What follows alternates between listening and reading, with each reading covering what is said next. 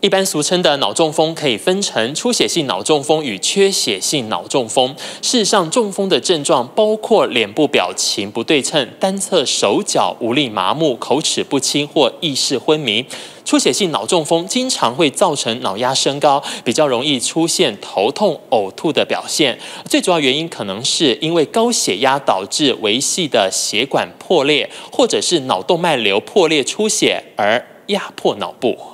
脑动脉瘤与主动脉瘤类似，在未破裂时大多没有明显症状。当脑动脉瘤破裂时，患者会感受到爆炸性头痛。一旦破裂，有百分之五十的病人可能昏迷或者是死亡，有百分之五十的病人可以还算有意识的送到医院来进行抢救治疗。脑中风是国人常见的疾病。主要的原因是因为现在国人的寿命越来越长，以及三高的盛行率越来越高，导致于脑中风发作的机会也越来越大。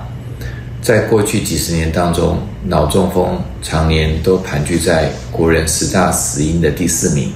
通常造成颈动脉狭窄的危险因子跟心血管疾病的危险因子相同，其中可调控的危险因子包括高血压、高胆固醇、糖尿病，另外抽烟、喝酒、缺乏运动等生活习惯也是可调控心血管疾病的危险因子。近年来，由于生活饮食习惯的改变，年轻型的中风，就是四十五岁以下的中风，也从原来的百分之六，已经上升三倍到百分之十八。年轻人的出血性中风主要是跟高血压有关系，当然还包括一些血管的异常，包括动脉瘤、动静脉畸形瘤等。至于年轻型的梗塞性脑中风，主要是跟三高脱离不了关系，像是高血压、高血脂、高血糖都要特别注意。想要预防脑中风或心血管疾病，最重要的是改变可调整的危险因子，包括三高，务必控制达标。维持健康生活形态与运动习惯，不要抽烟。另外的，像女性服用含有女性荷尔蒙的避孕药、怀孕、一些风湿免疫跟血管的疾病，都会造成梗塞性脑中风。血管阻塞的原因有两种，第一种是心脏里面因为心律不整或其他的原因产生血栓，心脏里面的血栓达到脑部的血管，塞住。脑血管的循环而造成中风。那第二种阻塞的原因是因为脑部的血管本身因为动脉硬化而狭窄。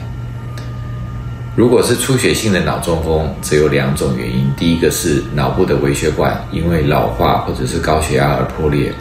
那第二种就是动脉瘤血管破裂而造成出血性的脑中风。日夜作息颠倒，或是作息不正常，或是生活形态的压力，都会造成血管性事件发生。那常常最重要的会被忽略，就是高血脂这一块。医师提醒，脑中风在早期都是没有症状，只有靠体检才能够早期发现、积极治疗，降低死亡风险。TVBS 新闻陈如环、蒋志伟台北采访报道。请支持一个专门报道国际新闻的全新 YouTube 频道 TVBS 国际 Plus，扩大视野，掌握趋势，请订阅并开启通知小铃铛。